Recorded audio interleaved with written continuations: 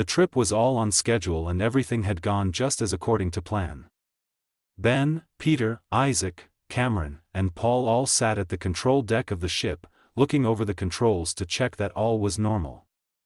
It was only a few weeks until they were scheduled to make contact on Alpha Centauri. As the ship's computer told them that all systems ran well, the five went to the dining area and got their dinners. About midway through, a low buzz could be heard in the back of the ship, the kind that usually meant power failure to one of the many components. A simple fix in the day and age so Paul got out of his seat to check it out. As he stood up his head banged against a low lamp, creating a great sound and hurting a great deal. Paul grabbed a bottle of pills as he was leaving. The buzz became stronger and stronger as Paul got farther in the ship, higher and higher in pitch and more frequently. By the time Paul realized what component the failure had been in, it was too late to fix. The main airlock had failed. A tempest of sound and wind formed in the ship as all the air was being violently sucked out.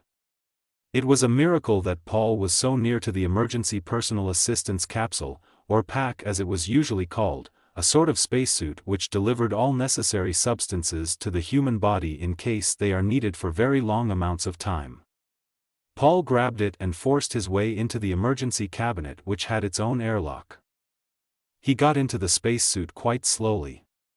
It slowly dawned on him that he was now alone, there was no way that the others were still alive.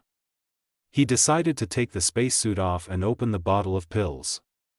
Over the next few hours he stayed alive with the pack's food sacks which could be opened from outside if needed.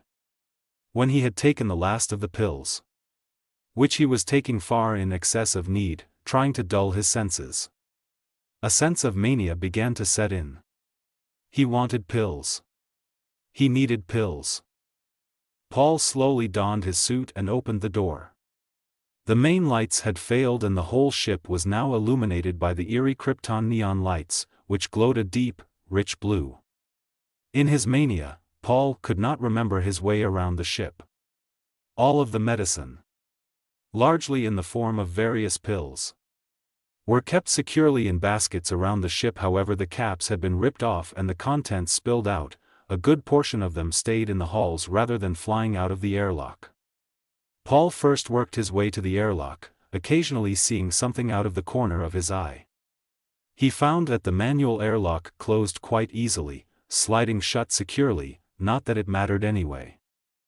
As he turned around he witnessed a gruesome sight. The others, all halfway into their packs which hung near the dining area. There were many sets all over the ship. They were quite near death but somehow kept alive by the packs.